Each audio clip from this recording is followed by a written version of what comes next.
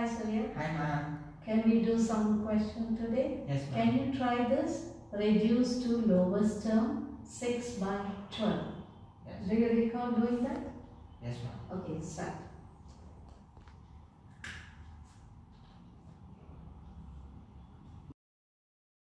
It's correct, right?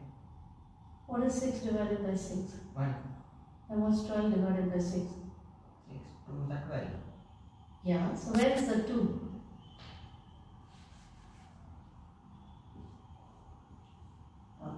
Oh yeah.